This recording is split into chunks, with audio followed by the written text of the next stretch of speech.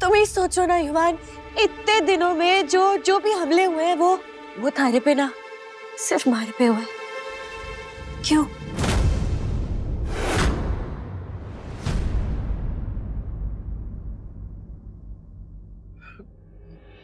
बन्नी, मुझे लगता है तुम्हें ना कोई गलत फहमी हुई है। ये दवाइयों का असर है या कुछ तो है, तुम तुम फ़िलहाल फ़िलहाल रेस्ट करो। एक बार तुम्हारा डिस्चार्ज हो जाए, फिर हम इस पे बात करेंगे। प्लीज़ तुम रे, रेस्ट करो। मैं मैं डॉक्टर को बोलता हूँ पा, पापा पापा थोड़ी हो सकते हैं। पा, पापा नहीं हो सकते।